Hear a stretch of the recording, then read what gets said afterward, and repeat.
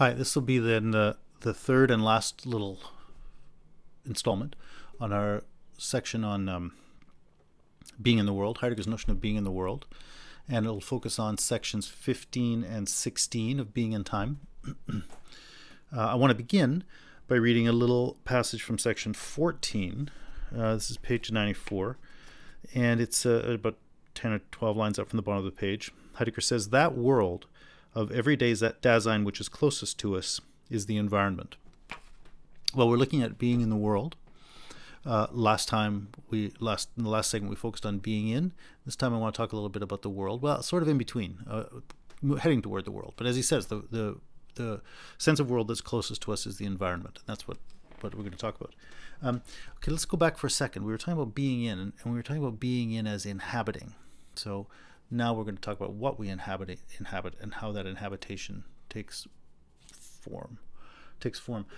But I want to just dwell for a minute on that notion of inhabiting. What what have we been saying? We've been saying that that's the fundamental character of our existence as the experiencing beings that we are. So if you want to know what what what the reality of experience is like, it's fundamentally like it fundamentally is inhabitation.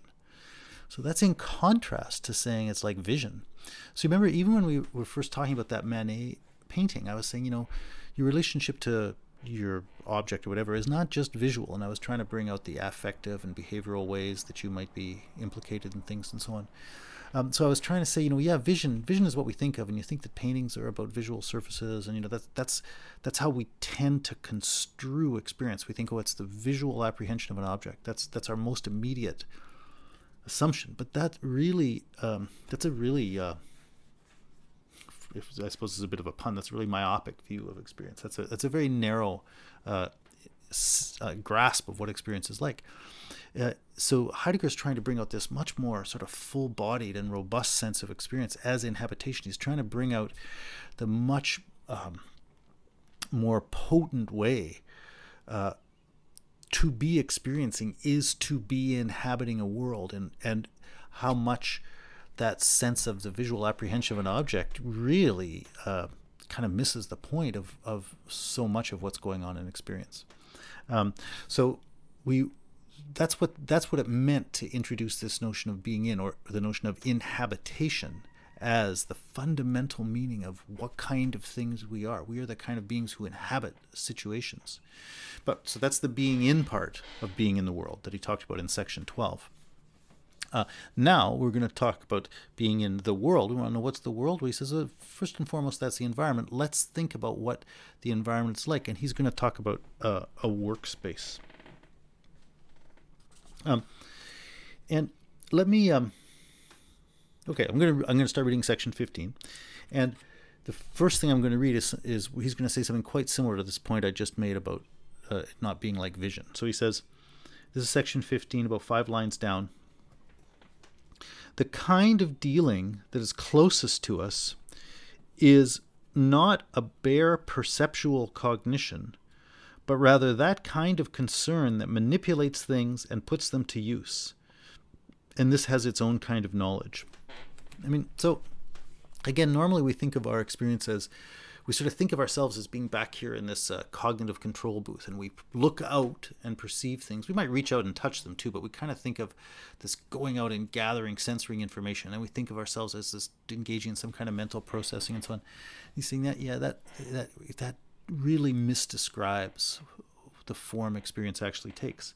And as he says here, the kind of um, way of being a subject engaged in the world, an experiencer, uh, the kind of way that we most basically have that sort of engagement is a practical one, a behavioral one. He says uh, the, the, the kind of dealing that is closest to us uh, is a kind of concern that manipulates things and puts them to use. And then he adds, this has its own kind of knowledge. So, the, the you know the, the the most familiar way that we have of being in the world is knowing how to get things done. And we we have what people call know-how. Uh, um, you know, what did I do today? I rode my bike to the park. Uh, I didn't go to a grocery store today, but that happens a lot. I talked to a friend. Um, I did some things with my son. You know, put him to sleep for his nap. I made him lunch.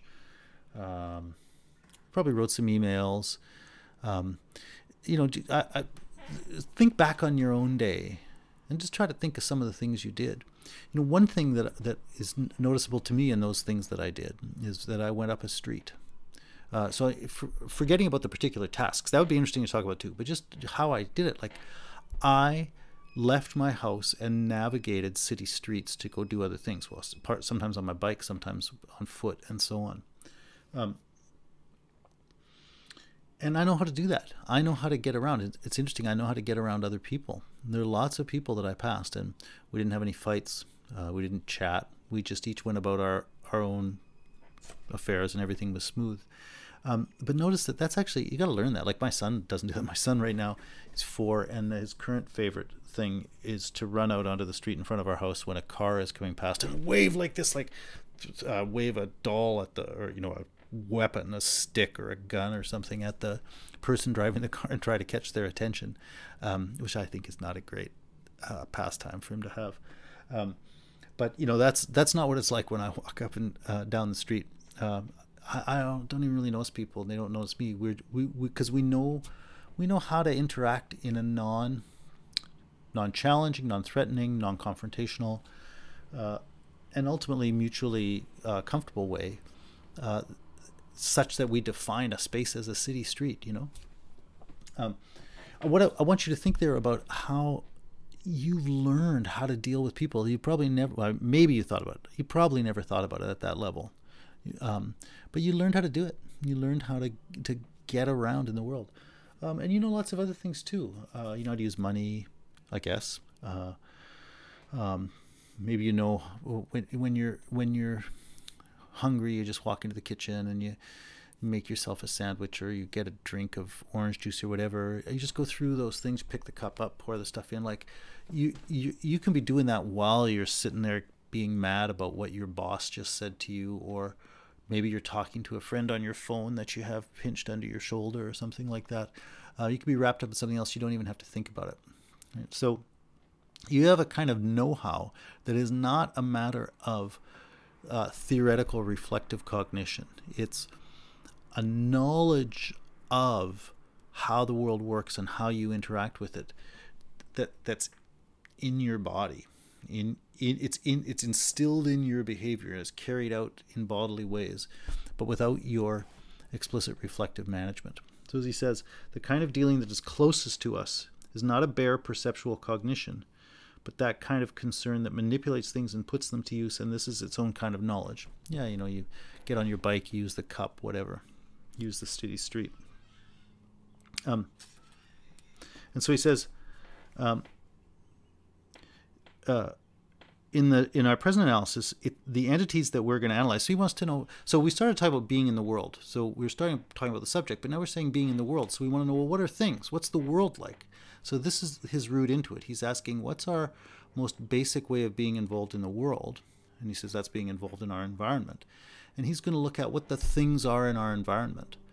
And we're going to sort out what it's, what it's like to experience a thing environmentally. And that's going to start to tell us something about the meaning of the world or the meaning, the meaning of that with which we are engaged. So he says, in the domain of the present analysis, the entities we shall take as our preliminary theme are those which show themselves in our concern with the environment. So, um, so now what you need to do is think about what it's like to do the kinds of things I was just talking about, walking down the street, getting yourself a glass of orange juice, or, you know, he gives the example of someone actually at work, you know, like a carpenter with a hammer. So put yourself in a workshop, put yourself in your job, uh, or whatever, and think about what that's like. And um, uh, he says uh, on 97, th- three lines down from the top, he says, he talks about the, the things that we mostly deal with. Well, they're not just mere things, right? He says the things, the entities that, that we encounter in our concern, and concern is, is a sort of a technical word he's using for the attitude we have when we're, you know, working on something. Uh, that's the, that's the kind of attitude you bring to the world when you're working on something. He says, "We shall call those entities which we encounter in concern equipment." Yeah, I mean that's when you're when you're trying to make dinner or something. Uh, you deal with the things around you, and you don't deal with them like a theoretical scientist saying, What are things? What is a being? You know, you don't do that. Rather, you are in the kitchen trying to make supper and you are oriented to the things around you uh, according to the role they have in uh, allowing you to carry out that task you're going to carry out. And so the thing that's interesting, remember, do you remember when we were looking at that um, Manet painting? I was talking about how you know when you when you first see the picture, you sort of you notice the woman and and you're you're held by her eyes. You know, it might only be later that you start to recognize what's in the background. And and I said even there, like in your everyday experience, you know, there can be people you just are never going to notice. Well, I want I want to highlight that theme for a moment, right? The the idea that stuff there's stuff that may you know maybe making having a physiological effect on the optic nerve, you know, but you're not you're not noticing it. Right? I want you to think about that. So the thing that's interesting is that in in your environment, let's call it the kitchen when you're cooking supper, you know, your eyes are open, your ears are open, so you got your sensory apparatus on full. So there should be this massive, you know, pouring in of uh, seeing the cupboard, seeing the handle, seeing the refrigerator, hearing the dog barking, hearing all this sort of stuff, you know. But that's not really what the form your experience takes is like. Really, most of that stuff is actually kind of hidden from you. You don't you don't notice any of it. What what you do notice is you're thinking about I gotta get I gotta boil some water and I, I gotta get the chickpeas and um, then I'll put the tomato paste in and you know whatever else is that you're doing and all all all of the all of the stuff on the shelves, you know, and all of the windows and whatever else, those things kind of disappear. Uh, they can be there if you if you if if something catches your attention and you look up, but they kind of disappear. And what's what your experience is about is the thing you're working on. Just like that woman in the Jeff Wall image, the view from an apartment, you know, is reading the magazine and what she's engaged with is what the story in the magazine is about. And she doesn't even really notice the words on the page or her hands holding the magazine or the feel of the couch behind her back. Well, similarly, when you're in the kitchen, like your mind is on the special chickpea pasta dish you're cooking for supper or something like that. And as the issues in the carrying out of that task sort of unfold and develop, things come to your mind. Oh i need i need a knife. Oh i need uh, i need to get some water in this pot. I need uh, a spoon.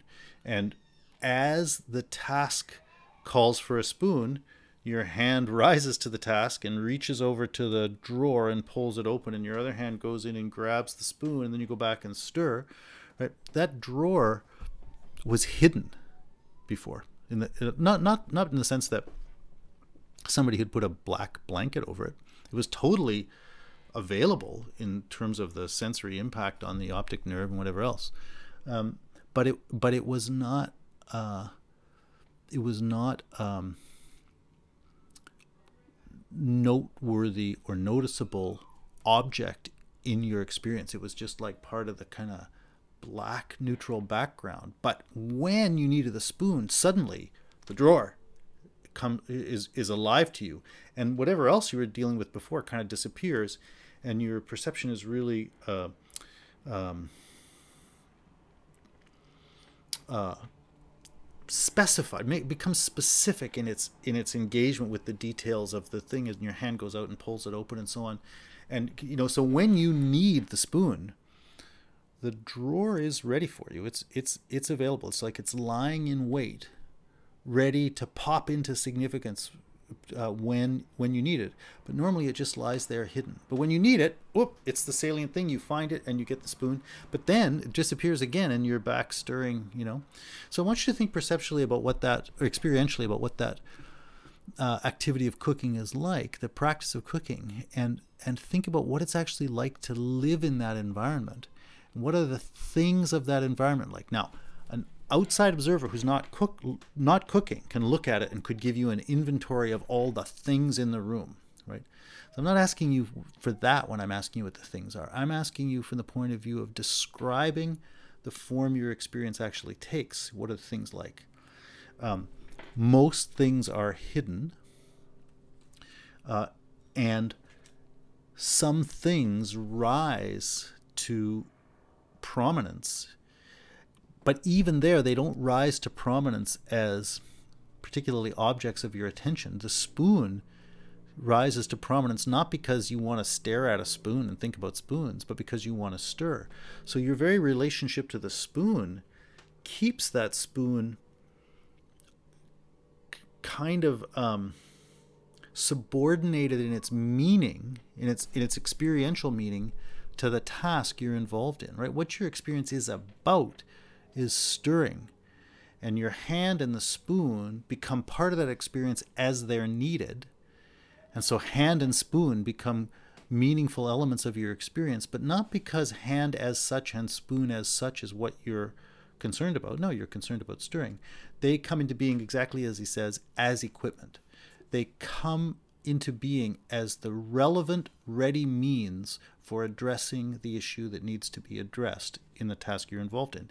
And to a large extent, these things can happen without you ever even thinking about it, right? You might very well be talking to someone on the phone while this is happening, or daydreaming about what you're going to do you know, on your date this evening after supper, or steaming over how angry you are at the way your mom just talked to you, or whatever it is, right? You, uh, you could be doing all kinds of things. Uh, you could be reflecting on all kinds of things.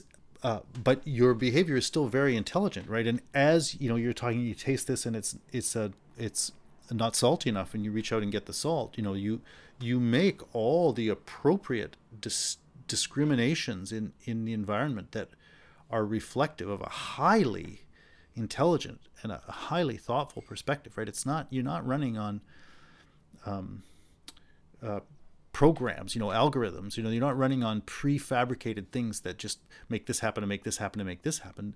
This you're ongoingly involved in a kind of choice and a kind of discrimination but it's not going it's not being processed reflectively such that you you might not even be meaningfully aware that you're doing it you and so su- subsequently you might not remember what you did because you weren't you as a reflective self weren't really there when it was happening but you were doing that right? So so we're talking about the form your experience takes and the the most basic form your experience takes in its inhabitation of a world is an ongoing practical engagement with things that reflects a kind of lived know-how. And those things are fundamentally experienced as equipment uh, which means they're not experienced as isolated detached objects of interest it means they're experienced as part of a network of things that are involved in the in the available resources for carrying out a task. Um, and that's why he says, excuse me, in the next paragraph on 97, taken strictly, there is no such thing as an equipment. Uh, he says to the being of any equipment there always belongs a totality of equipment. Yeah, because because there there are a network of things that come into play in the carrying out of a task, and they they the equipment has its role as part of a system of resources for doing the kinds of things you do. Um, so that's a quick description of um, the basic experience of things in your in your everyday inhabitation of a of a familiar environment. Um, and let's carry on a little bit farther. Actually, let me just read this one line. I wasn't going to read this, but I just noticed it on 98. I think it's helpful to what we might go on and say later. He says, second line on 98. When we what we encounter as closest to us, though not as something taken as a theme, right? So it's it's it's what we're most intimately involved with, but we're not actually typically noticing it. It's not thematic. It's not it's not the uh, the explicit focus of our attention. Uh, what we encounter as closest to us, though not as something taken as a theme, is, for example, the room. And we I encounter the room that I inhabit, like the woman in that um, Jeff Wall image, View from an Apartment. Uh, I encounter it not as something between four walls in a geometrical spatial sense, but I encounter it as equipment for residing. So these things I'm saying about equipment, uh, you could go back and, and read those back into that woman in relationship to the couch, the floor, the general feel of the room, and all that kind of stuff, right? Um, so then he says, equipment can gen- genuinely show itself only in dealings cut to its own measure, hammering with a hammer, for example.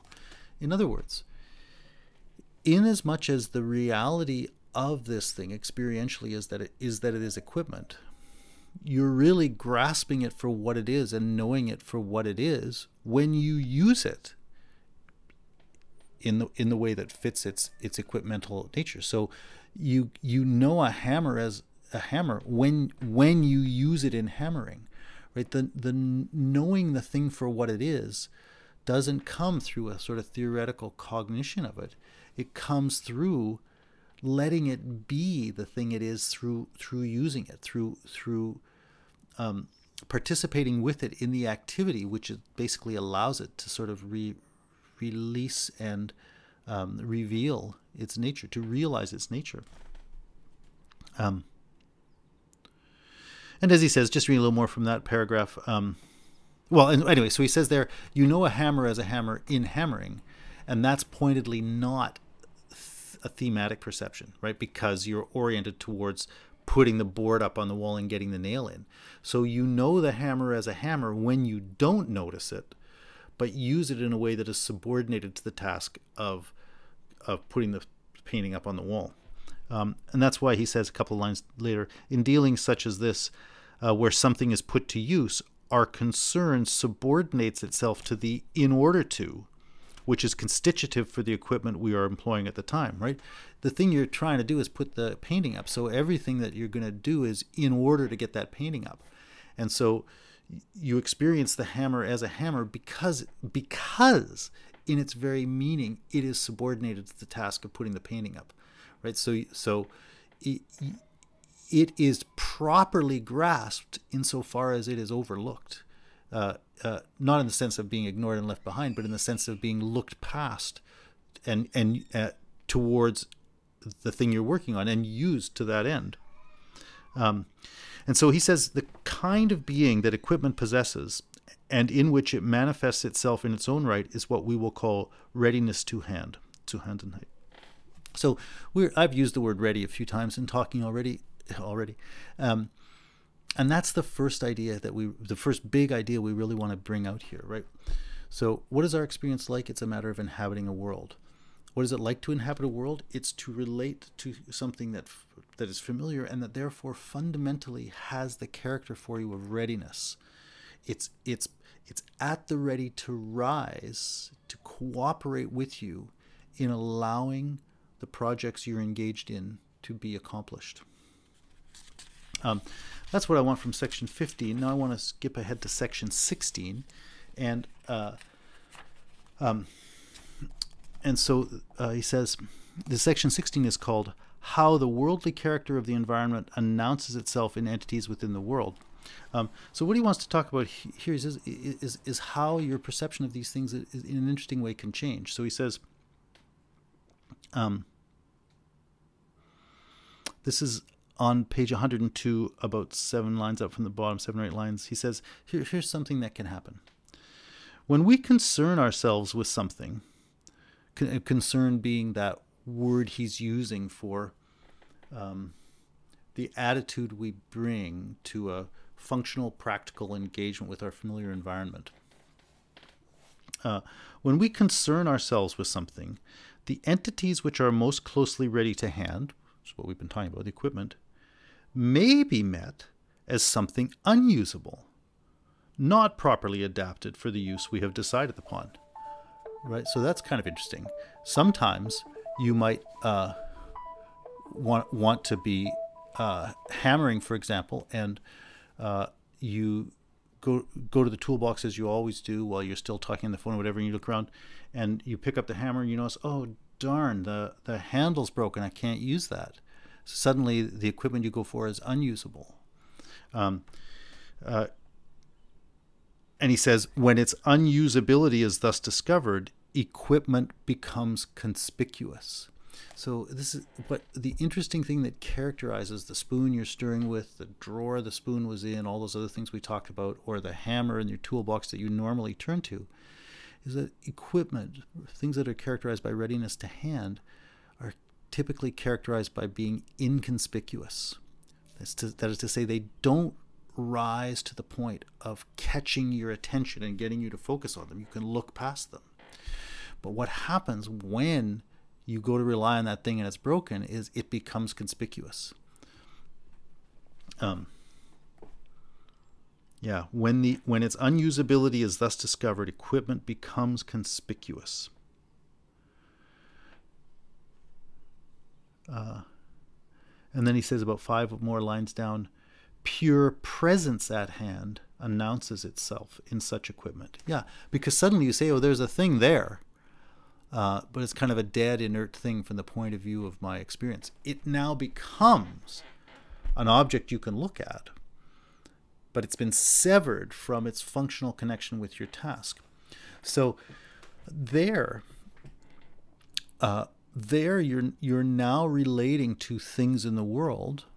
You're still relating to things in the world, but you're relating to them in a really different way than you did before. Formerly, you related to things in the sense of practical know-how that sort of worked through those things so as to be able to fulfill your own tasks.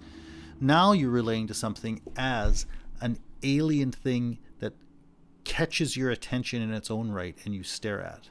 So it's now present to you as opposed to being ready for you. It has become literally an object.